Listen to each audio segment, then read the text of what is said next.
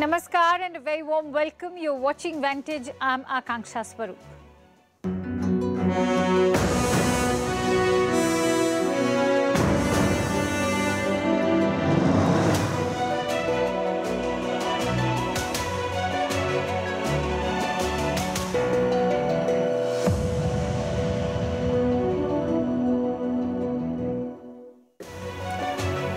Arctic is the next battleground for superpowers, rivals like the United States and Russia, and military alliances like the NATO. They're doing drills in the region, but why are leading nations racing to prepare for a conflict in the region? We'll get you the answers tonight. Also, a report by Washington Post is testing the unity of the West for Ukraine.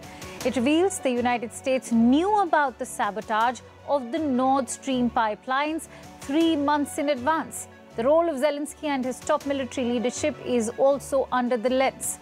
US Secretary of State Antony Blinken is in Saudi Arabia. America's influence in the region is under threat. The visit is an attempt to undo some of the damage. Also, we'll tell you why Australia is doing away with the bank checks. You're watching Vantage. I'm Akanksha Swaroop, filling in for Palki Sharma. First, the headlines. China's trade with Russia in May soars to the highest level since the start of the Ukraine war. Trade between the two countries last month was worth over $20 billion. It comes as Beijing steps up support for its sanctions hit ally. China is Russia's largest trading partner. NATO to begin its largest ever Air Force deployment exercise in Europe next week. The 10 day exercise will include over 200 military aircraft from 25 NATO and partner countries. US says while the exercise is defensive in nature, it is intended to send a message to Russia. Israel slams US Vice President Kamala Harris. Harris had hinted that the Netanyahu government's legal reforms could curb the judiciary's independence. Israeli Foreign Minister Eli Cohen hits back at Biden's deputy, says she's ignorant of their reform plans. Air India sends relief jet to rescue passengers stranded in Russia. Tuesday's New Delhi to San Francisco flight was diverted to Russia's Far East after the plane developed engine trouble. There were over 200 passengers and 16 crew on board the US bound flight. And England mulls expanding access to weight loss drugs. Doctors could soon be allowed to prescribe obese people with weight loss drugs under a pilot scheme. A 2019 survey said there were over 12 million adults living with obesity in England, accounting for 28% of the population.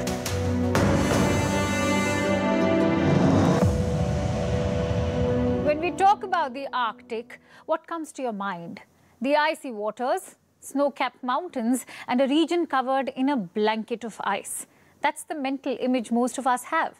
But all this is set to change. The Arctic could lose all its ice. It is melting fast, and it is too late to reverse this. Leading scientists believe the Arctic will be ice-free in the summers come 2030. This is what a new study has warned. Perhaps the world's leading militaries saw this coming. Already, they are preparing for this scenario. Rivals like the United States and Russia and military alliances like the NATO, they are doing drills in the region. They're gearing up to fight. So very soon, these picturesque views could be replaced with images of military bases and troops training to hold their ground. The Arctic is the next superpower battleground. But why are leading nations racing to prepare for a conflict in the region? Tonight, we'll get you the answers. We begin with the science. Like I said, a new study has been published. It projects the Arctic will be ice-free during the summer.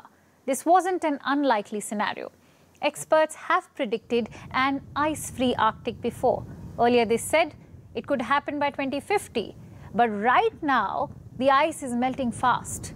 Experts fear the Arctic will have ice-free summers as soon as the 2030s. That's two decades earlier. It is difficult to pinpoint the exact date. But there are no doubts over the fate of the Arctic. It will lose its ice for many. This is a scary scenario. But some leading world powers sense an opportunity here. They want a piece of this region. Already this year, we have witnessed several drills. In April, Russia conducted military drills in the Arctic Sea. These were large scale drills. 1,800 soldiers, 15 ships, and 40 aircraft were involved. These drills were aimed at this area, the Northeast Passage. This is a sea lane. It runs along Russia's northern coastline from the Atlantic to Pacific Oceans. The ice there is melting, so this passage has become more accessible. For Russia, this could be a new trade route. It will cut travel time significantly. That's one of the reasons why Russia is warming up to the Arctic. But there are other contenders in the mix. Let's look at the map again. This is the Arctic region.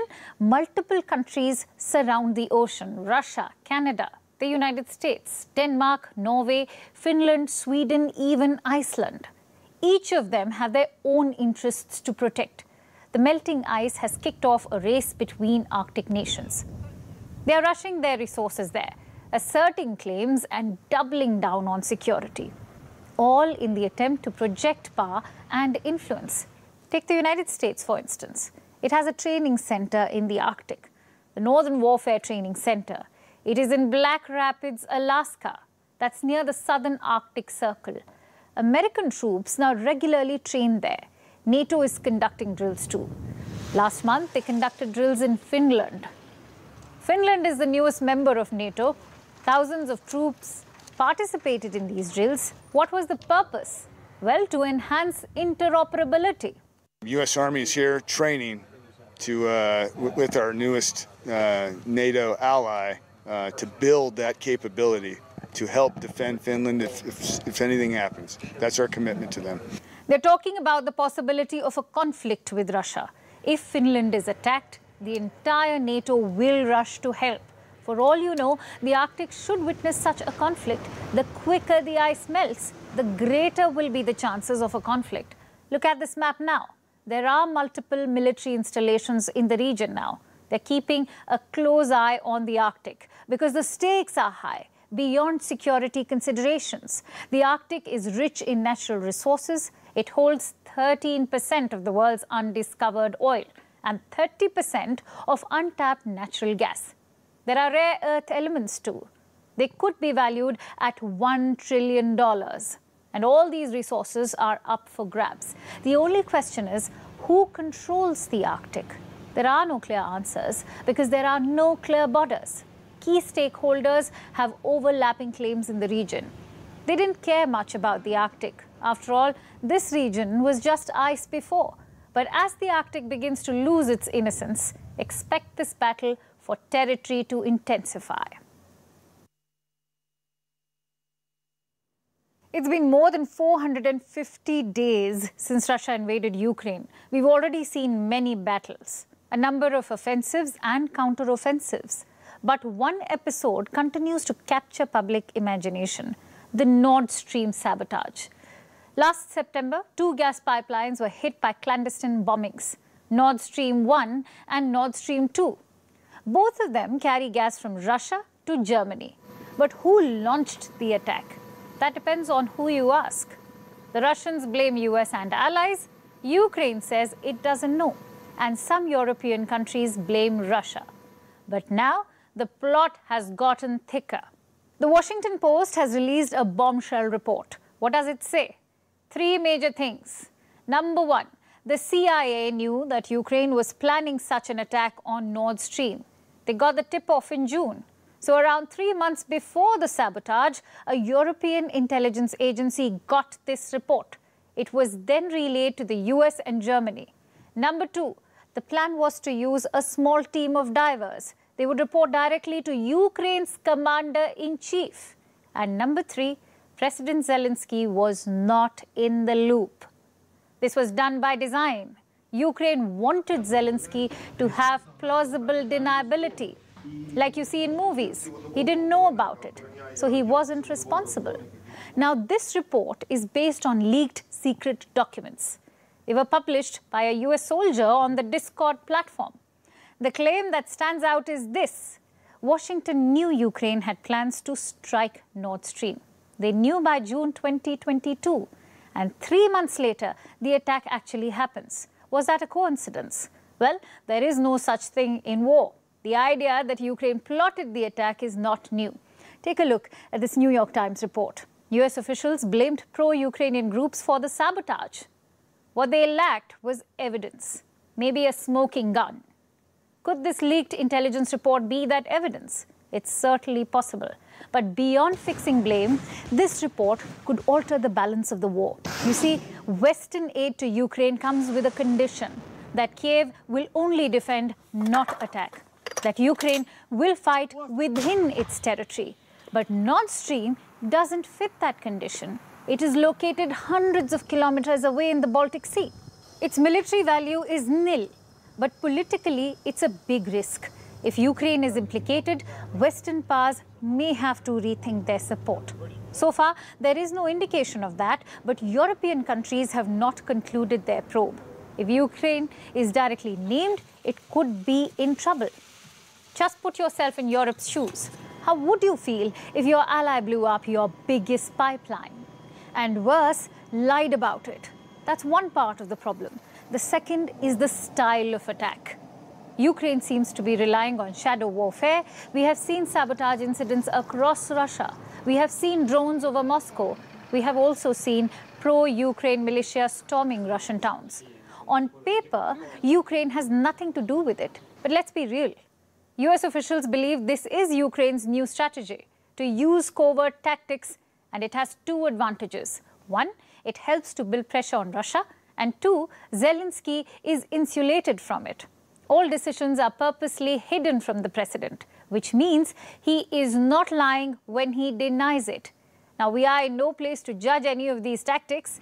Russia has killed hundreds of innocent Ukrainians. It has launched an unprovoked war. So, Ukraine is free to use any strategy they see fit. But the downside is this the Americans are still uncomfortable about taking the fight to Russia.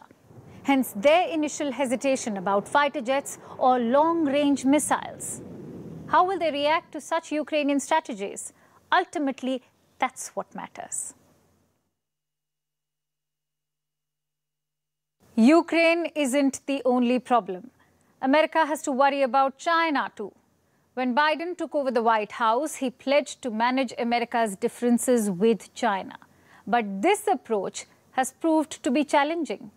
Tensions have escalated in recent years, dangerous military encounters have increased, and communication channels have remained frozen. Until now, US and China now want to talk. US Secretary of State Antony Blinken is all set to visit China this month. It is an attempt to stabilize the relationship. But before Blinken sits down to talk, the US and its allies are facing fresh provocations from the PLA. Our next report brings you the details. A close call in the South China Sea.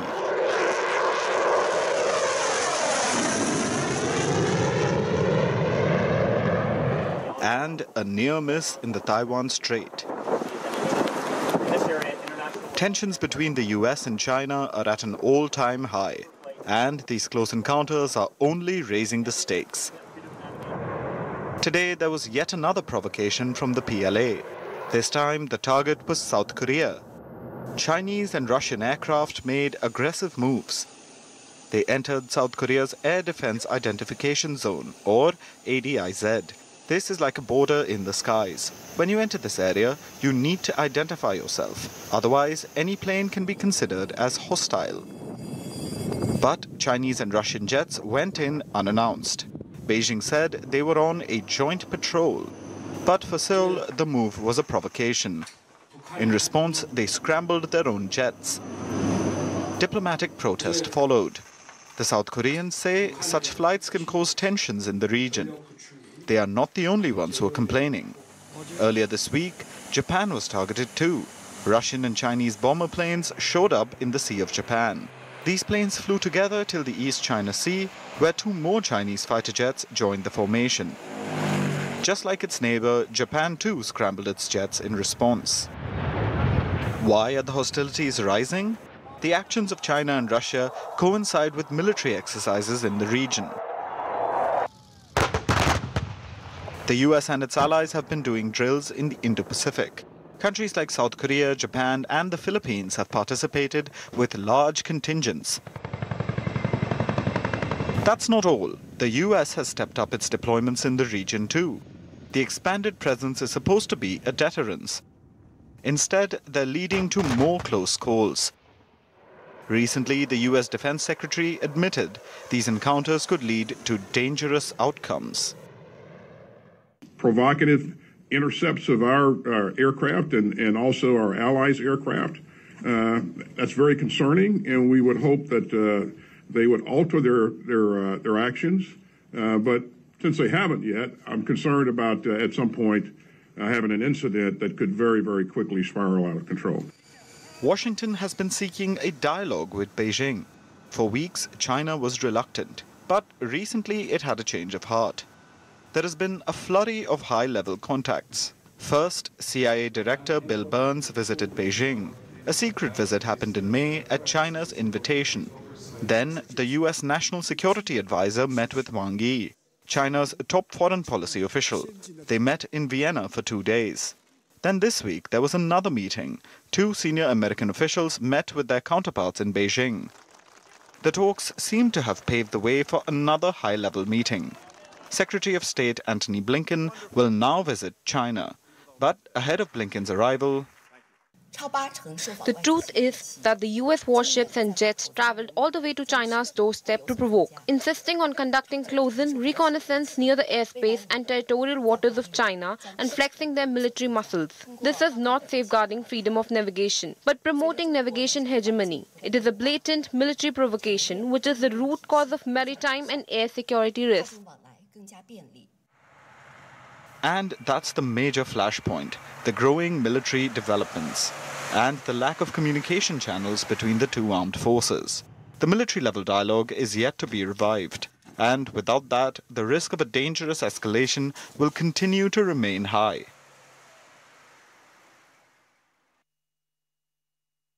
Speaking of the US Secretary of State, Antony Blinken, he's in Saudi Arabia on a three day visit one that promises to be a challenge for him. On Tuesday, Blinken met Crown Prince Mohammed bin Salman. The talks covered a range of issues like security, economy, terrorism, and the war in Yemen. But one line from the US statement stands out. Let me read that out. The Secretary also emphasized that our bilateral relationship is strengthened by progress on human rights. That's important to note. Joe Biden campaigned by promising a tough line on Riyadh. He vowed to make Saudi Arabia a pariah state. But three years later, he's backtracking. There are three reasons why. One, he needs Saudi support to control oil prices. This weekend, the kingdom slashed supply by 1 million barrels. It's not good news for American inflation. Two, he needs to contain Chinese influence. Saudi Arabia has been cozying up to China. They even let Beijing broker a normalization deal with Iran. So, what does Biden do? He tries to mend fences with Riyadh. And number three, he needs Saudi Arabia to recognize Israel. Symbolically, it would mean a coup for Biden. But politically, too, it's important. An axis between Israel and Arab states will be a bulwark against Iran. It would extend American influence. The only question is will MBS play along? The truth is, he's spoilt for choice. He's got China in his corner, he's got Russia working with him in OPEC, Plus, and now the US is courting him. So, what does he do? Right now, it looks like he's not picking any side. Just think back to the last century. West Asia was a pawn in great power rivalries. And what did they get in return? War and instability. So now there seems to be a realization, an understanding that regional issues must be solved regionally. There's no point betting on big powers. Look at all the recent events. Iran has reopened its embassy in Saudi Arabia. It was closed seven years ago in 2016. Since then, Riyadh and Tehran were locked in a Cold War. They backed opposing sides in the conflict between Yemen and Syria. But now they're mending fences. Their foreign ministers met in Cape Town last Friday. Iran said good progress was made in bilateral ties. Another development was reported on Saturday. Iran announced the creation of a new naval alliance. Guess who's on board? Saudi Arabia and the UAE. It would have been unthinkable a few years ago. The alliance also includes Bahrain, Qatar, Iraq, Pakistan, and India. We don't know what shape it will take, but Iran says the objective is regional security. The timing of this decision is important. Just days ago, the UAE walked out of a US led maritime coalition. So the message is loud and clear. America's space and authority in West Asia is shrinking. What does that mean for the region? Also for stakeholders like India? Well, shrinking doesn't mean disappearing. The US is still the chief weapons supplier in the region. That won't be changing overnight. So the talk of West Asia picking China over the US is premature. But there's a more realistic assessment, a multipolar West Asia. That should be India's goal as well. If West Asia becomes beholden to China, it's not good news. Much of India's energy comes from there. Plus, there is a sizable Indian population living in the Gulf. So, more engagement is key, whether bilaterally or through groups like the I2U2. As for Antony Blinken, he's got his work cut out. The US has very little leverage over MBS. Weapons is the only carrot Biden can dangle.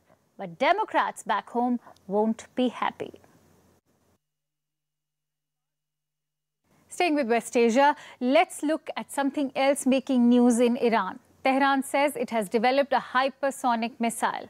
The missile named Fatah was unveiled yesterday. The unveiling ceremony was attended by Iranian President Ibrahim Raisi. Also present were senior commanders of Iran's Islamic Revolutionary Guard. Why the grand event? Because a hypersonic missile marks a new milestone in Iran's missile program. A missile is considered hypersonic when it can travel at least five times the speed of sound. That makes it a problem for most missile defense systems. The new Fatah missile can allegedly travel at 15 times the speed of sound. If it isn't an exaggeration, that would be quite a feat. Iran says the Fatah hypersonic missile is a crucial deterrent. Here's our report.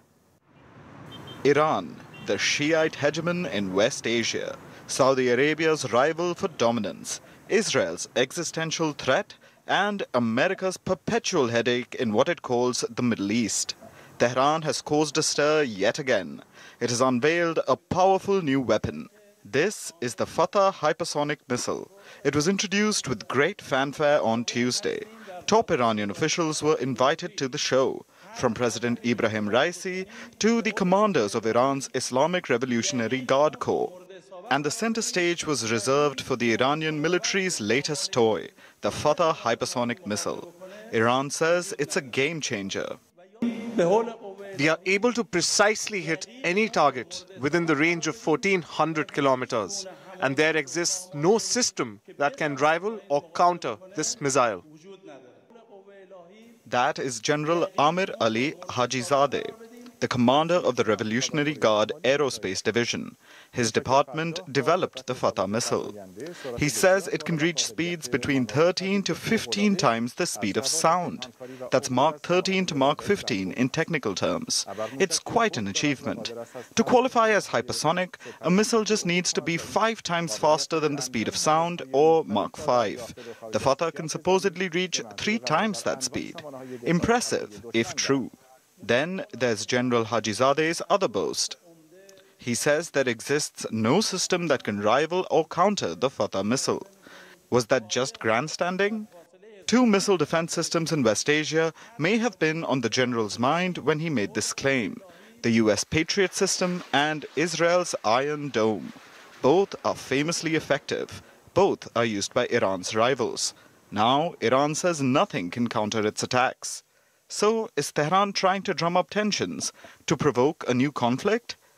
Well, Iran says this will boost its deterrence power and help maintain peace. Today we feel that the deterrent power has been formed. This power is an anchor of lasting security and peace for the regional countries. Deterrence isn't a new concept, of course. Everyone relies on it. The concept is simple. Make the enemy think it isn't worth attacking you due to the potential casualties. All countries, especially the nuclear armed ones, employ this thinking. But while the new missile may dissuade a military attack, Iran's enemies have already responded with hostile moves of a different kind more sanctions. As soon as Iran went public with the Fatah missile yesterday, the US went to work.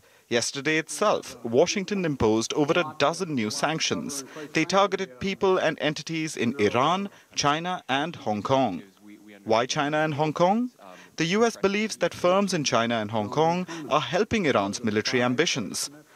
One of the people sanctioned is Iran's defense attaché in Beijing, Dawood Damghani. The US says he helped procure parts and technology for key actors in Iran's ballistic missile development, and it doesn't seem far-fetched. China has been developing hypersonic missiles for a while now. Beijing's hypersonic program is ahead of Washington's. It's very possible that it helped out a fellow US rival. Now, the question is, what next? Will this new Iranian weapon spur the US into ramping up its own hypersonic program? Will Israel enter the hypersonic arms race? What about Saudi Arabia and the Gulf states? The only thing that's certain is that tensions in West Asia aren't dying down anytime soon. Let's talk about Memphis. This is a city in the US, and these days, one of its busiest places is not a cafe or a monument, it is an impound lot where tow truck drivers wait for hours on end as they make one drop off after another. And victims too have to wait, but for days or even weeks to get their stolen cars back. In this impound lot, thousands of cars have been squeezed in a tight space and most of them are stolen. All thanks to the grand auto theft. No, not the video game. A real life auto theft, which ironically has been inspired by something virtual. TikTok videos. Yes, TikTok, the social media app, has given birth to an explosion of auto thefts, and they're taking over US cities like New York, Baltimore, Cleveland, Milwaukee, San Diego, and Seattle. And the target of these thefts are mainly two manufacturers, two South Korean automakers who have proven to be especially vulnerable to this theft. And I'm talking about Kia and Hyundai. Let's look at some numbers about 11,000 cars were stolen in Memphis last year. That's twice as many as in 2021. And roughly a third of them were late model Kias and Hyundais. New York reported 977 thefts in the first four months this year. That's up from 148 in the same period in 2022. And the number of stolen Hyundais and Kias have doubled since last year. Hyundai and Kia thefts increased by 767% in Chicago last year and 61% of vehicles stolen in St. Louis in the last year are Kias and Hyundais. You got the drift, and so do these cities. So now they have sued these two car makers. They've had enough, and they're taking the car makers to court over negligence and selling vehicles that are too easy to steal. These cities have faulted the automakers' failure what are we talking about? Between 2011 and 2022, Kia and Hyundai have promised to do something they did not. They were supposed to install anti-theft devices called immobilizers in their cars. As many as 8.3 million US vehicles need these immobilizers. But they weren't updated. And the result? Auto theft within seconds. Crime sprees, public harm, even reckless driving. People don't need any sophisticated tech to steal cars. All that's required is a TikTok app and a quick search on how to steal a car. In a matter of seconds, tens of thousands of videos line up. They even have their own hashtag and they provide tips on vehicle theft. They tell you it doesn't take much. All you need is a screwdriver, a USB cord, and a hot wiring know how. Simple, right? Apparently so. And let me be clear, in no way am I encouraging you to steal a car or sharing hot tips with you. I'm telling you just what the world has come to and how appalling this is. Because do you know who these videos target? Who end up as culprits of auto theft? Teenagers or young adults. Taking the example of Memphis again. More than half of the 175 people arrested this year were teenagers. And this is just one example of many. But why are teens stealing these cars? Experts say mainly for kicks and viral views, but also for other crimes like robberies and car crashes. So the damage is not just cars. Several teens have died or been seriously hurt because of this, let alone the harm this brings to the victims, yet brimming with auto theft knowledge coupled with newfound TikTok inspired confidence. These teens are going after Kia and Hyundai cars, which have become quite the sweet spot due to their failures, but also because of their popularity. The two Korean car brands accounted for about a tenth of US auto sales last year. Except now, they seem to be even more popular for wrong reasons. And now they are clearly under fire. But this isn't new. Last month, the automakers reached a $200 million settlement in a consumer class action. That covered about 9 million vehicle owners in the US. But even so, the biggest battle these car makers face is not against these lawsuits, but a simple TikTok trend that has gone viral and found a fan in the teenage American spirit. And now it is ripping them off one viral video at a time. The question is, when will this real life game of Grand Theft Auto end?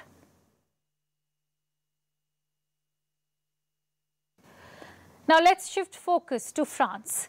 The country saw another round of protests yesterday. Protests against President Emmanuel Macron's new pension law. This was the 14th mass protest against the law. It came ahead of a parliamentary debate set to take place tomorrow. Opposition parties are going to try and strike down this pension law. Yesterday's protests were supposed to be a show of strength, but that strength seems to be wavering. The turnout was the lowest since these protests began. This is according to both the protest organizers and government officials. So, has Macron finally won? Has the protest movement run out of steam or is something else on the cards? Here's our report. Thousands of people took to the streets of Paris once again. This time too, they were protesting against France's new pension law. Like in previous protests, things were set on fire. Clashes took place with the French police, while police resorted to tear gas to disperse the protesters. Some remained defiant. We must not give up. We must demonstrate because if we give up, at the moment the government does everything and anything. They're going to pass laws and then they'll say, yes, there's nothing more to be done. Yes, they've already voted. What's to be done? And like that, we're going to let things slide. No, we have a right. We have to demonstrate. We always have to demand. You have to see things through to the end. President Emmanuel Macron has raised the French retirement age from 62 to 64 years. He said it was necessary that the French treasury could not support the growing pension costs. But the people weren't on board. Because of his new law, Macron has been under pressure for months. People have accused him of ramming the law through without following due process, which is true. He used an emergency measure to pass the law when he saw Parliament would not agree. This was in April. The autocratic move had enraged the French public. The reform has passed, but it still hasn't been accepted by the people. It never has nor by the parliament. There was a vote aiming to block it, but it didn't succeed. But it's different from a vote to make it pass. The reform passed without a democracy, so it's important to make the government understand that we never wanted this reform and that it's time that the people speak because it shows that the government doesn't care more and more about people's will. And so it's important that we take the power back on that level. Over 782,000 people had demonstrated against Macron's diktat on the 1st of May. Those are the government's official figures. Protest organizers had claimed that the real number was three times as much. But yesterday's protests seemed subdued in comparison. The government says only 281,000 people came out to protest. Even the protest organizers say the turnout was low. So, does this mean that the protests are winding down? Well, there are some people who are steadfast. I'm here for the 14th time. I've taken days off work. I've lost a lot of money, but I'm here and I'll always be here. Some others blame external factors for the low turnout, like the summer. They say the protests will pick up again once the weather improves. We know very well that they're going to do the same thing to us. It's summer, so there'll be far fewer mobilizations. We're getting ready to organize ourselves for the autumn. Some seem more pessimistic, especially about tomorrow's parliamentary motion. The reform has passed, but it still hasn't been accepted by the people. It never has, nor by the parliament.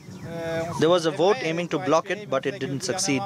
But it's different from a vote to make it pass. The reform passed without our democracy, so it's important to make the government understand that we never wanted this reform, and that it's time that the people speak, because it shows that the government doesn't care more and more about people's will. And so it's important that we take the power back on that level. The opposition has sponsored a motion to cancel the minimum pension age increase. They will try and repeal Macron's pension law. But it's unlikely that they'll succeed. Why? Because of a catch. Lawmakers cannot pass legislation that weighs on public finances without measures to offset those costs. So the repeal attempt might get thrown out. But the motion and the protests on the street will succeed in one thing reminding Macron that the road ahead will continue to be rough. Is the biggest headline in global sports, except it's more political than sports. A major golf merger has been announced. Three parties are involved PGA Tour, which looks after golf in North America, DP Tour, which handles the European leg, and Live Golf, which is a breakaway league funded by Saudi Arabia. It's hard to explain how big this is. So to make it easier, let's understand the basics. PGA Tour was the top dog in golf. They organized most of the big events. They also had contracts with all major golfers. But one important side note, PGA is not a commercial entity. It is a non-profit organization.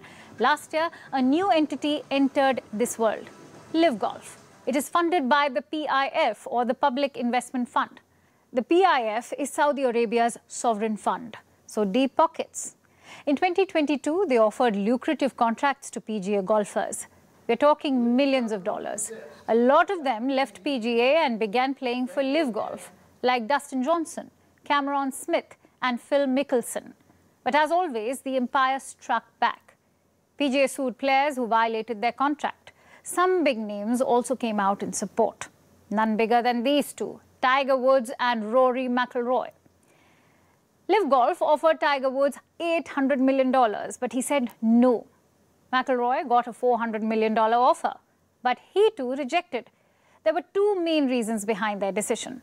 One was the legacy of golf. The Saudi League had new styles of play. It wasn't the true essence of golf. And two, the Saudi stigma.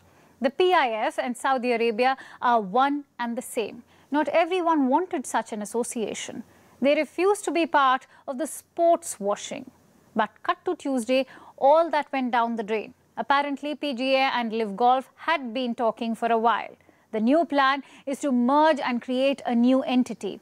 It won't be non-profit. It will be purely commercial. The PIF is also promising to invest billions of dollars into this new entity. I know everyone is calling it a merger, and on paper it is. But for all practical purposes, this is a hostile takeover. Saudi Arabia will now run golf. It's not a proud moment for PGA chief Jay Monahan. He had promised to fight LIV Golf in 2022. Now he says circumstances change. I recognize that people are going to call me a hypocrite. And anytime I've said anything, I said it with the information I had at that moment and I said I said it based on someone that's trying to compete for the PGA Tour and our players. Um, and so I accept those criticisms, but circumstances do change, and I think that, you know, in looking at the big picture and looking, looking at looking at it this way, that's that's what that's what got us to this point. PGA says the merger will end divisions, but the opposite is happening. Some golfers have come out in open criticism. A, they were not consulted about the deal. And B, many of them turned down lucrative contracts with LIV Golf. They did so to protect PGA, the same PGA which has now betrayed them. So what happens next? All legal cases between PGA and LIV Golf will end. Logical, since they have merged. Also, players who joined LIV Golf can go back to PGA Tours. So no more LIV golfers and PGA golfers. Everyone can play everywhere. I know it's a bit technical if you don't follow golf, but like I said, this is also about politics. Saudi Arabia is not a golfing country. It's not like they are emotionally invested in the sport. This is pure sports washing. Saudi Arabia is using its money to take over golf. You may ask, why golf? Because the sport was struggling for relevance. Viewership was down, prize money and advertising was down. So Saudi Arabia's petrodollars were too good to refuse. But don't think it's only golf. Saudi Arabia's PIF has bought 75% stake in four national clubs. They are planning to splurge. Cristiano Ronaldo already plays there. Karim Benzema joined this week. And rumor is Lionel Messi could be next. Saudi Arabia's plan is to use sports to hide the bad stuff, things like human rights abuses or their treatment of women. Experts call this strategy sports washing. It has led to backlash from rights organizations and activists. Even the golf merger has been criticized. Families of 9-11 victims have slammed the PGA Tour. Remember, the attackers on 9-11 were Saudi citizens. But none of it seems to matter. Not the rebellion by players, not the criticism by fans, not the backlash from rights organizations. All that matters is the money. I guess PGA chief Jay Monahan had refused even a meeting with LIV Golf.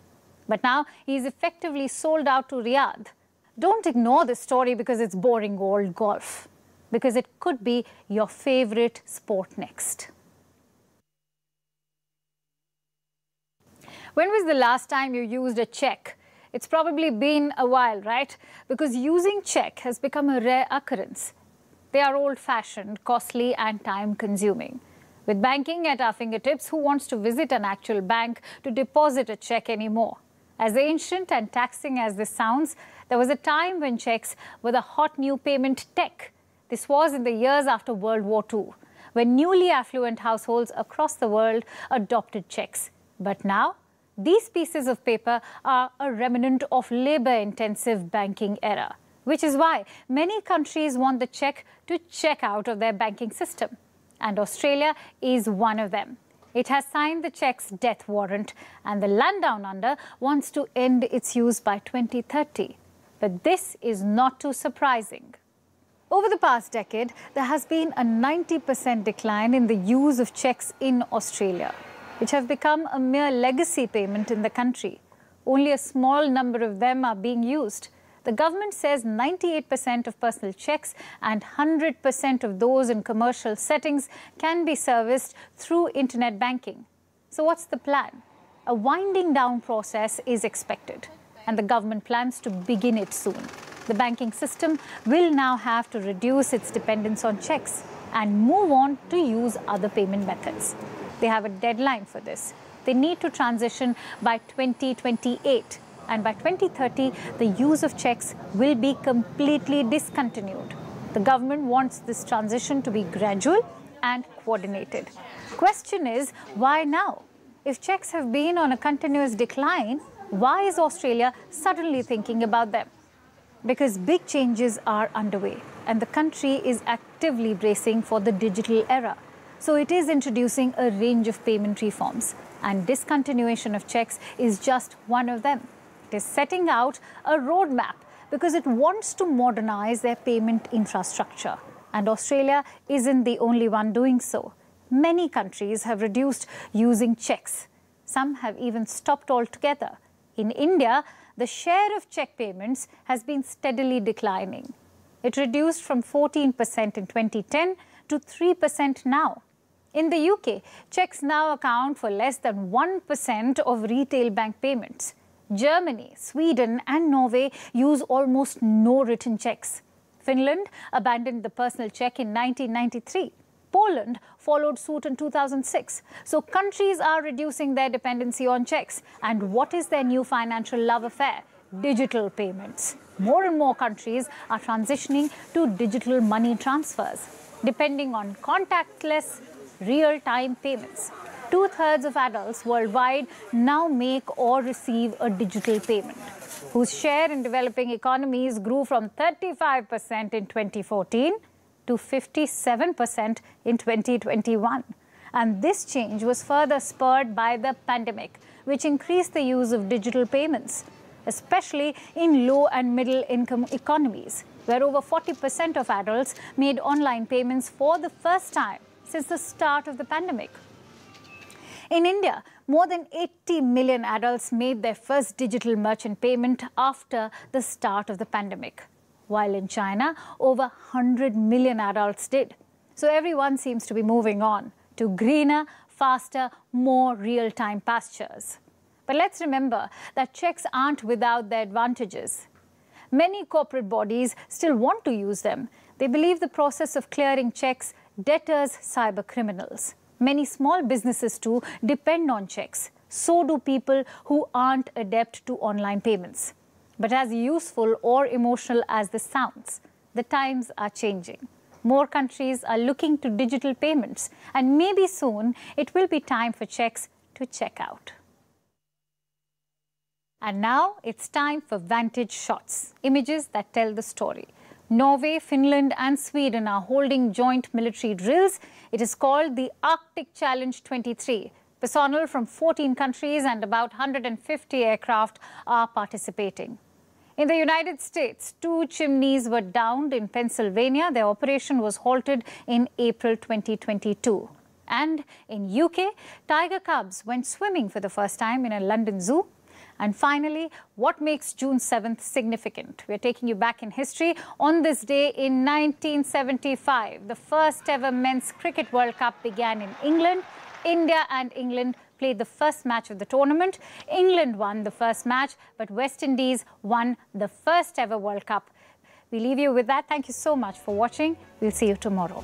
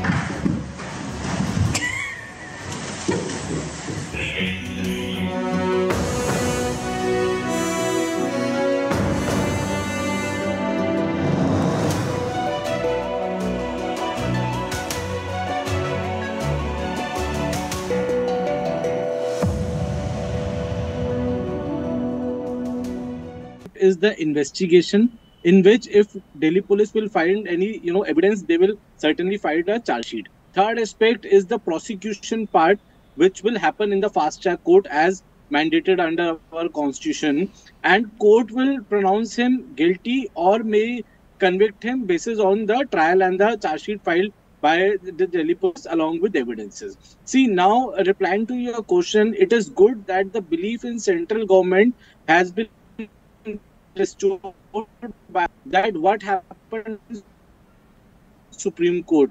It was central government through Solicitor General who submitted that they are willing and ready to do this FIR and before Supreme Honorable Supreme Court could pass any directions, uh, okay. uh, it was already submitted by Solicitor General that on same day both the FIR on our stand since the beginning is that anything which has to happen, which should happen in a legal framework, in a constitutional framework. Whatever okay. Let me ask Monica Mehrotra, the fact that this has been going on for a month and a half, there are two sets of FIRs that have been filed. Uh, the wrestlers have given their statements to the Delhi police and also they've gone and recorded statements from uh, uh, Brijbhushan Sharan and people close to him. Uh, the police's contention by way of sources is if there was any material uh, that warranted arrest and particularly because one of the accusers happens to be a minor, then he would have been arrested by now.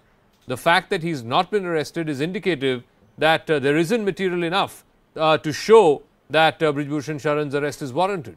That is what Delhi police sources are claiming. You think so? Are we all that blind? Let's not get into technicalities, but let me tell you, Zaka, it has been absolutely sinful. It's been sinful and arrogant, or I would say a meek behavior of the tongue-tied sports minister towards the dignity and pride of these wrestlers. I mean, look at the way they've got the laurels of this country. If they are saying something, why is the government so deaf? Why didn't they hear them? It took them so long. A, they did the protest earlier on a promise that okay things will be sorted out and we'll look into it. Nothing happened. Mere lip service. And then they resumed their protest for good 35 40 days and look how they were treated. They were dragged. The, they were assaulted by the police uh, police uh, personals. Look at the way the stuff was thrown around. Is this the way you treat the honor dignity of our country? No, That's but, but ma'am, what the, what the, what the BJP yeah, is saying, yeah. again by way of sources, is that you know, if there is material uh, to show, even an iota of material to show that this man Brijbhushan Sharan uh, did all the things that he is accused of, then arrest would have been automatic because under POCSO, uh, you have to get arrested.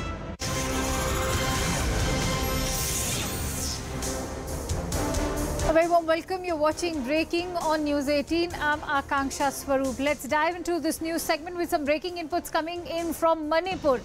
We are now learning that after Home Minister Amit Shah's visit to the state, many weapons